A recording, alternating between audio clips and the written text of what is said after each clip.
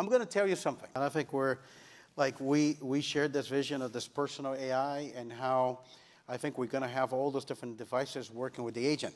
And it's interesting from from uh, the things that we talk about computing uh, performance. I, I mentioned 2023 we kind of show 1 billion parameter model running on the phone, stable diffusion less than a second.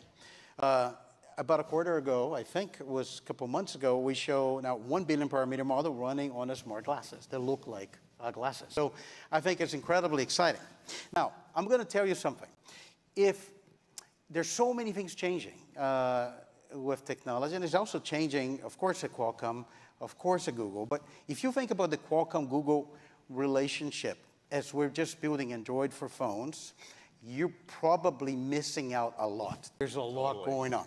We just, uh, Rick and I, we just had, you know, our our executive sync with the teams, and we have so many projects we can't fit on a single page anymore. and uh, so I want to actually take a little bit of time and talk about that. There's a lot more than we're doing for phones.